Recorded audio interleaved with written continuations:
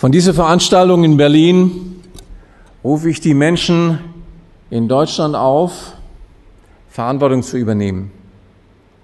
Zweimal in der Geschichte ließ sich unser Volk vor den Karren von Wirtschaftsinteressen spannen, deren erklärtes Ziel es war, Europa und die Welt mit Gewalt zu erobern.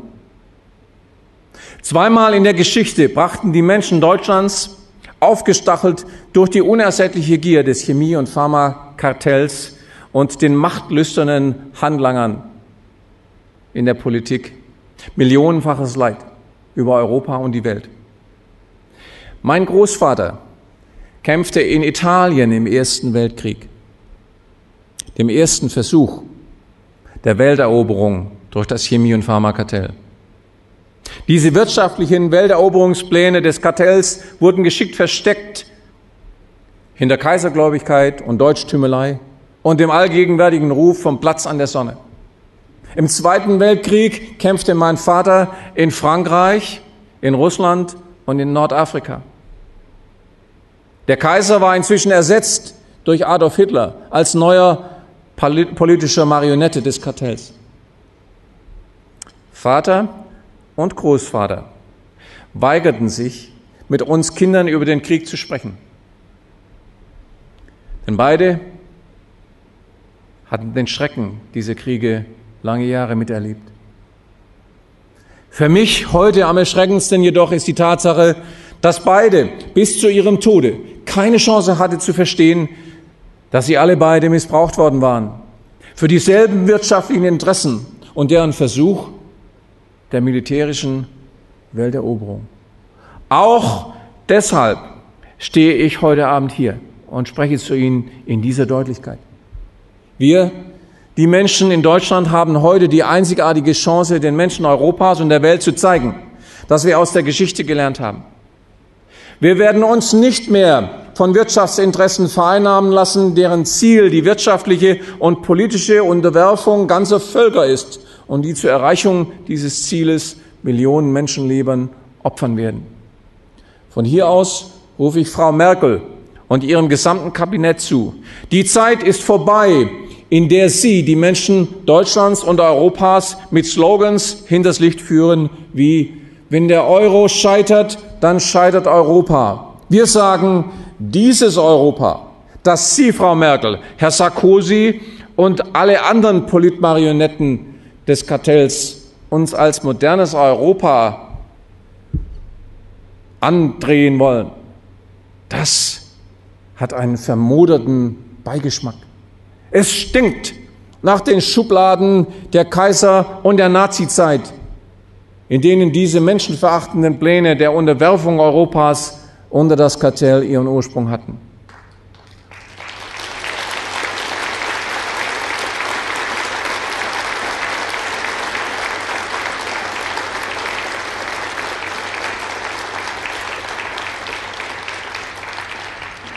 Wir sehen auch, Frau Merkel, dass der Weg Ihres Europamodells mit den Leichen von fast 100 Millionen Opfern aus zwei Weltkriegen gepflastert ist, hingeschlachtet bei den früheren Versuchen des Kartells zusammen mit ihren Vorgängern im deutschen Kanzleramt, die Herrschaft über Europa und die Welt zu erobern. Im Namen von Millionen Menschen aus ganz Europa sagen wir Ihnen heute, hier ein paar hundert Meter von Ihrem Kanzlerpavillon entfernt, ein Europa der Unterjochung der Menschen auf Generationen hinaus unter die Interessen dieser Wirtschaftskonzerne. Dieses Europa wird es nicht geben. Niemals. Wir rufen die Menschen Europas auf, mit uns gemeinsam ein demokratisches Europa für die Menschen und durch die Menschen aufzubauen. Frau Merkel und allen anderen Politmarionetten des Kartells sagen wir, auch von hier, auch in aller Deutlichkeit, wir brauchen euren Euro nicht. Diese Währung, diese Währung erfüllt nur eine einzige Funktion. Es ist die Kette, mit der Millionen Menschen Europas wie Sklaven an eure Wirtschaftsdiktatur angekettet werden. Den Menschen Griechenlands, den Menschen Griechenlands, Italiens, Spaniens, Portugals, Irlands und all denjenigen Länder, die von, der Brüsseler, von den Brüsseler Kartellkommissaren erpresst werden. Mit dem Satz, wenn ihr euer Land nicht unseren Bedingungen unterwerft, dann droht euch die Zahlungsunfähigkeit. Euch allen rufen wir zu, lasst euch nicht unter Druck setzen. Diejenigen Politiker, die euch jetzt unter Druck setzen, sind die Marionetten des milliardenschweren Pharma-Betrugsgeschäfts mit der Krankheit, das euer Land jahrzehntelang ausgesaugt hat und diese Wirtschaftskrise erst mit herbeigeführt hat. Wir rufen euch zu, sprengt diese versklavenden Ketten des Euros in eurem Land, führt eure nationalen Währungen wieder ein.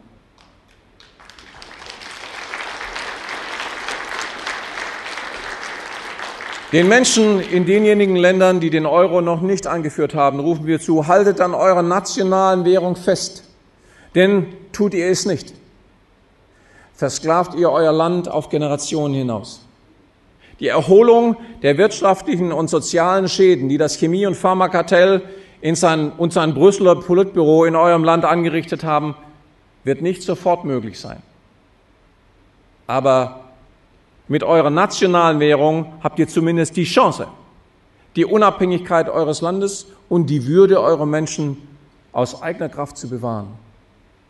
Jeden Tag länger, an dem ihr euch durch die Brüsseler Politkommissare erpressen lasst, verbaut ihr den Weg der Unabhängigkeit, der wirtschaftlichen Erholung und des sozialen Friedens in eurem Land und für eure Kinder. Die Menschen Berlins, Deutschlands und Europas sind aufgewacht. Und wir erkennen, dass die Brüsseler EU nichts anderes ist als der dritte Versuch des Chemie- und Pharmakartells, ganz Europa zu unterjochen und, einer, und in eine Wirtschaftsdiktatur zu verwandeln.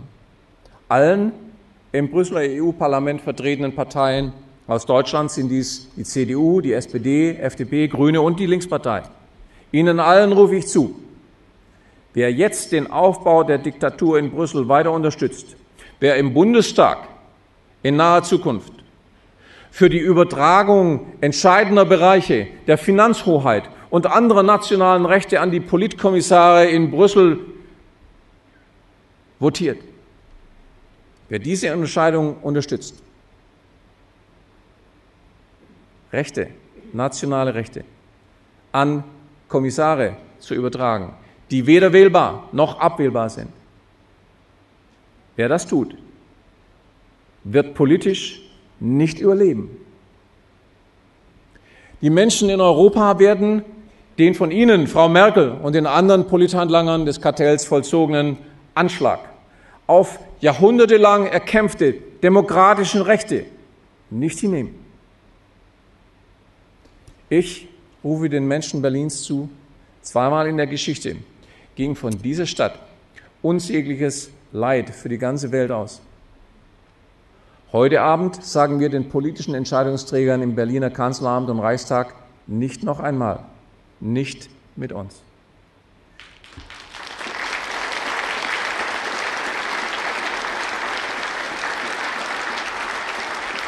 Den Menschen Europas sagen wir, glaubt keinem Politiker, der euch verspricht, durch die Unterwerfung unter die Bedingungen der Brüsseler EU-Kommission könntet ihr Freiheit von ökonomischen Zwängen erreichen könntet ihr die Würde der Menschen eures Landes erhalten und den wirtschaftlichen Aufschwung einleiten. Das Gegenteil ist der Fall. Wenn die politischen Handlanger des Kartells in Brüssel und in euren Hauptstädten von mehr Demokratie reden, meinen sie den Aufbau ihrer Diktatur. Wenn sie von mehr Wohlstand reden, dann meinen sie nicht den Wohlstand der Menschen, sondern die Profite des Chemie-, Pharma- und Ölkartells und der Banken. Und wenn Sie von Friedenssicherung in Europa reden, dann sind Sie bereits aktiv dabei, mit Militäreinsätzen auf mehreren Kontinenten den Weltherrschaftsanspruch des Kartells militärisch zu sichern. Jetzt, wo das Betrugsschema des Pharmakartells für alle offen erkennbar wurde, ist es nur noch eine Frage der Zeit, bis die Menschen der Erde die Verantwortlichen des Chemie- und Pharmageschäfts und ihre Handlanger zur Rechenschaft ziehen. Dies wissen natürlich auch die Vertreter des Status quo, also der jeweils herrschenden wirtschaftlichen und politischen Interessensgruppen. Und sie haben Angst. Und diese Angst macht sie unberechenbar, ja gefährlich. Und deswegen müssen wir auch noch einen weiteren wichtigen Gesichtspunkt ansprechen. Die Geschichte vom Übergang des Mittelalters zur Neuzeit hat uns gelehrt, dass der Status quo nicht davor zurückschreckt, ganze Kontinente mit in den Abgrund zu reißen, wenn seine Herrschaft bedroht ist. Vor 400 Jahren stürzten die um ihre feudalen Privilegien besorgten Könige und Fürsten ganz Europa in einen Krieg. In dem verzweifelten Versuch, ihre Herrschaftsform und ihre Pfründe zu erhalten. Vergebens. Die Menschen der Erde hatten sich entschlossen, diese mittelalterlichen Verhältnisse hinter sich zu lassen und die Neuzeit zu beginnen. Und ebenso wird es sich heute als Irrglaube erweisen, wenn die Investmentkreise um die Chemie- und Pharmaindustrie und ihre politischen Handlanger glauben, mit einem irgendwo auf der Erde angezettelten Flächenbrand, zum Beispiel einem Atomkrieg, seinen eigenen Untergang noch hinauszögern zu können. Wir sagen es Sarkozy und anderen Politikern, die öffentlich mit dem atomaren Erstschlag drohen. Der Plan, die Herrschaft des Kartells über unseren Planeten mit dem Kriegsrecht eines Dritten Weltkriegs fortzusetzen, ist ab heute keine Option mehr.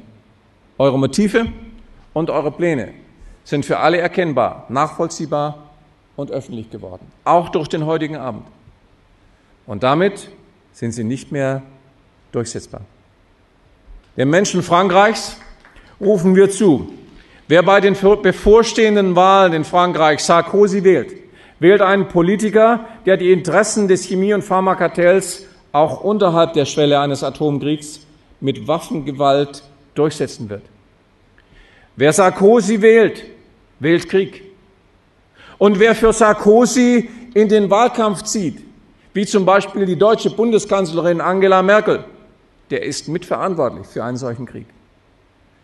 Und deshalb rufe ich die Menschen Deutschlands auch im Hinblick auf die im nächsten Jahr stattfindenden Bundestagswahlen auf.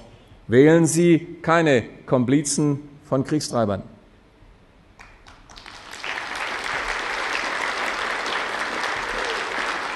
In diesen in diesen Tagen blickt die Welt auch besorgt auf den Nahen Osten. Viele Politiker zeigen auf das Atomprogramm des Irans als Auslöser dieser Krise. Doch kaum jemand spricht von Benjamin Netanyahu. Er ist nicht nur israelischer Ministerpräsident, sondern gleichzeitig auch Gesundheitsminister des Landes, also verantwortlich für das gesamte nationale Pharmabudget mit engsten Verbindungen zur milliardenschweren Pharmaindustrie. Auch hier besteht eine gefährliche Verknüpfung in der Hand eines einzigen Politikers, zwischen dem um das Überleben ringenden, ringende Pharma-Investmentgeschäft und dem Einsatzbefehl über Atomwaffen. Und es geht hier nicht darum, einseitig Partei zu ergreifen. Ich spreche das hier an, weil auch in diesem Fall diese Veranstaltung dazu beitragen wird, den atomaren Erstschlag deutlich zu erschweren oder ganz unmöglich zu machen. Wir müssen diese Dinge offen ansprechen, denn tun wir es nicht, werden diese Kräfte ohne Zweifel versuchen, die jetzt mögliche Befreiung der Menschheit von Krebs und anderen Volkskrankheiten mit allen Mitteln zu torpedieren. Die vor uns liegenden Aufgaben der Befreiung von diesen Volkskrankheiten erfordern unseren ganzen Einsatz. Wir können uns dabei nicht ablenken lassen von denjenigen Kräften, die den menschlichen Körper weiterhin als milliardenschweren Marktplatz unterjochen wollen. Machen wir uns klar, diese Kräfte haben schon deshalb keine Überlebenschance, weil sie jeglicher Moral, jeglicher Ethik und jeglicher Glaubwürdigkeit entbehren. Und für uns geht es jetzt darum, ganze Epidemien von Volkskrankheiten zu beenden.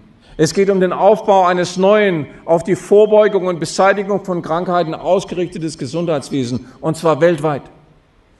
Und hier, von diesem Abend in Berlin, rufen wir den Menschen der Welt zu, helft mit, helft mit bei dieser großartigen historischen Aufgabe.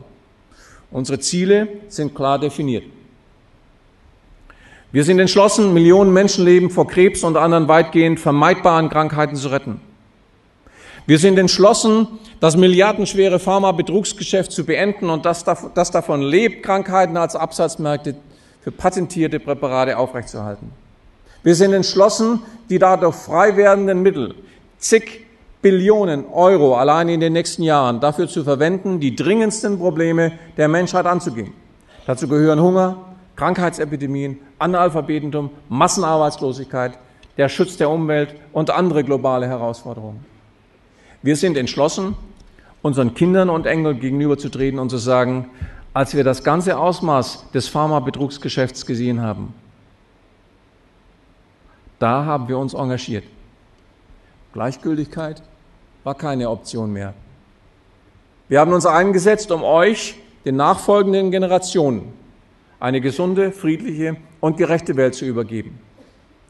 Als derjenige Wissenschaftler, der einen entscheidenden Beitrag zu der jetzt möglich gewordenen Beendigung der Krebsepidemie leisten konnte, sage ich Ihnen auch, die Beseitigung der Krebsepidemie ist nur der Anfang. Die schon jetzt verfügbaren Forschungsergebnisse wissenschaftlich begründeter Naturheilverfahren machen klar, dass die medizinische Anwendung dieser Erkenntnisse zahlreiche Volkskrankheiten auf einen Bruchteil ihres heutigen Standes zurückdrängen werden.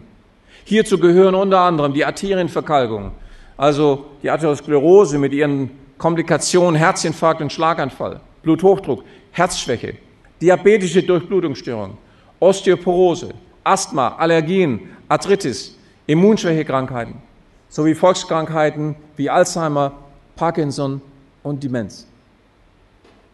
Durch die Anwendung des vorhandenen Wissens können bei all diesen Krankheiten noch in diesem Jahrzehnt entscheidende medizinische Fortschritte erzielt werden, die Millionen Menschen Gesundheit und Leben schenken und Milliarden an Krankheitskosten einsparen helfen. Doch diese atemberaubende Welt ohne Krankheit wird uns nichts geschenkt. Denn jede dieser Krankheiten ist ein Milliardenmarkt. Wenn wir diese Welt für uns und unsere Kinder schaffen wollen, dann müssen wir uns engagieren. Jetzt. Ich lade Sie ein. Informieren Sie sich über die umfassenden Fortschritte im Bereich wissenschaftlich begründeter Naturheilverfahren im Kampf gegen Krebs und andere Volkskrankheiten. Informieren Sie sich auch über die gesundheitspolitischen Zusammenhänge, die Sie heute Abend hier gehört haben, denn dieses Wissen wird Ihnen die Kraft geben, auch die zu erwartenden Widerstände in Ihrem Umfeld zu überwinden. Engagieren Sie sich in einer bestehenden Initiative oder gründen Sie an Ihrem Wohnort eine eigene Gruppe von Menschen mit dem Ziel, Ihre Stadt krebsfrei zu machen. Lassen Sie uns diese historische Aufgabe gemeinsam angehen. Nur so werden wir unseren Kindern eine Welt hinterlassen können, in der sie in Würde leben können. Tun wir es. Tun wir es jetzt. Vielen Dank, dass Sie gekommen sind.